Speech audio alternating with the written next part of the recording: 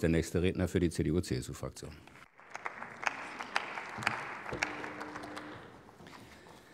Herr Präsident, liebe Kolleginnen und Kollegen!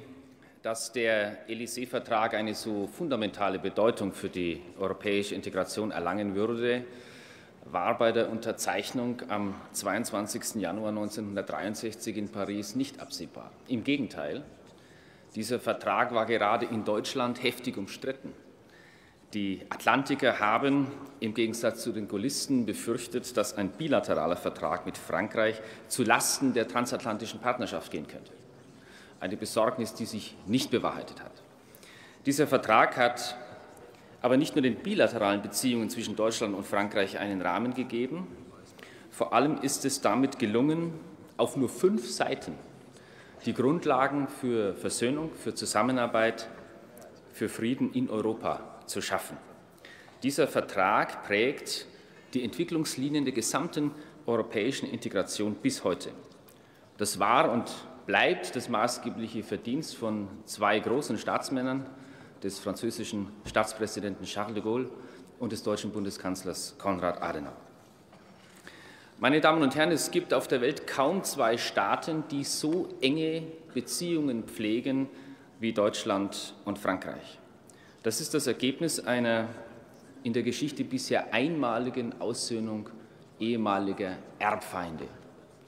Wobei ich zu denen gehöre, die das Wort Erbfeinde nur in Anführungszeichen verwenden. Denn, meine Damen und Herren, die Versöhnung zwischen Deutschen und Frankreich, Franzosen beweist, Feindschaft ist nicht erblich.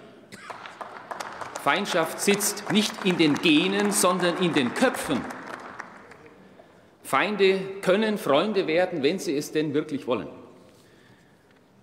Feindschaft kann also überwunden werden und wir, Deutsche und Franzosen, haben sie überwunden. Das ist die zentrale und bis heute aktuelle Botschaft des Élysée-Vertrags für Europa und die Welt.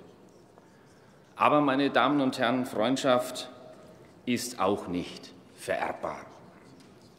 Freundschaft muss gepflegt werden, Freundschaft muss ständig erneuert werden. Und deswegen geht es darum, die Freundschaft zwischen Deutschen und Franzosen Jahr für Jahr lebendig zu erhalten und von Generation zu Generation weiterzuentwickeln. Das ist unser gemeinsamer Auftrag aus 50 Jahren Élysée-Vertrag. Meine sehr geehrten Damen und Herren,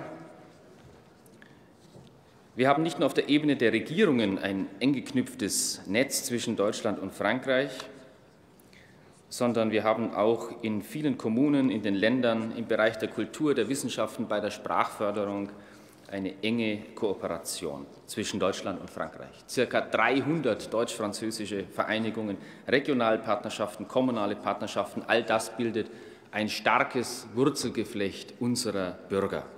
Und wir haben auch seitens des Deutschen Bundestages und der Assemblée Nationale uns eine gemeinsame deutsch-französische Agenda 2020 gegeben im Februar 2010, mit der wir 80 neue Projekte der Zusammenarbeit bis zum Jahr 2020 umsetzen wollen. Dass die Jugendarbeit einen besonderen Stellenwert in unseren Beziehungen hat, ist von nahezu allen Vorrednern zu Recht betont worden. Und in dem Zusammenhang kann die Leistung des deutsch-französischen Jugendwerkes nicht genug gewürdigt werden. Seit 1963 haben die Programme des deutsch-französischen Jugendwerks mehr als acht Millionen Teilnehmer erreicht.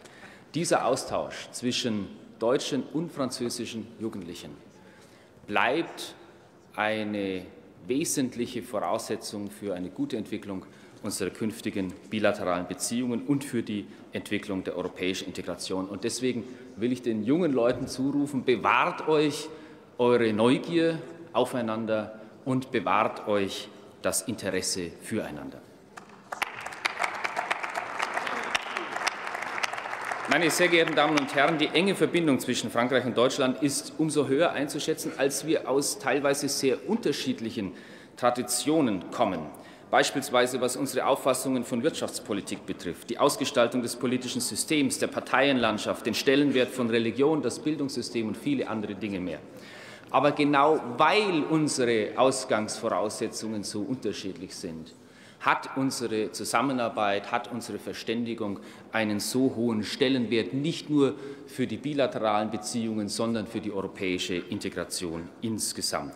Das ist der Grund, weshalb Deutschland und Frankreich zu Pionieren und zu Triebfeder der europäischen Integration geworden sind. Ob Binnenmarkt, Schengen-Abkommen, Wirtschafts- und Währungsunion, gemeinsame Außen- und Sicherheitspolitik, alle wegweisenden europäischen Initiativen der letzten Jahre und Jahrzehnte wären ohne den engen Schulterschluss zwischen Deutschland und Frankreich undenkbar gewesen.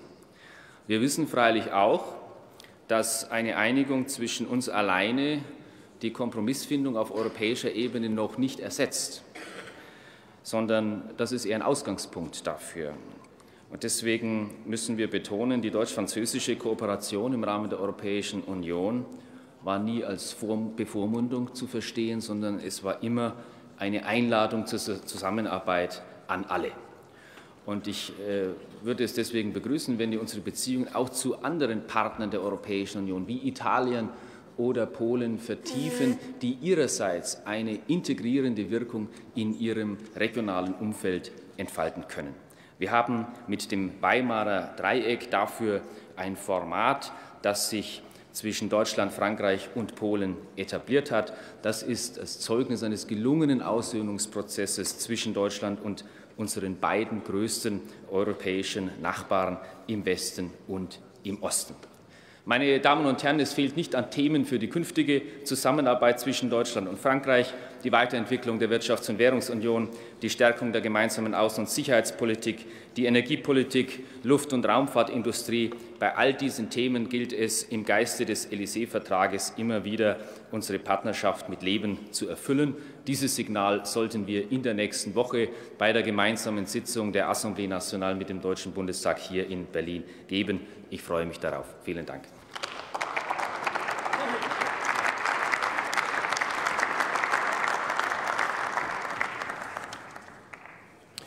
Ich erteile das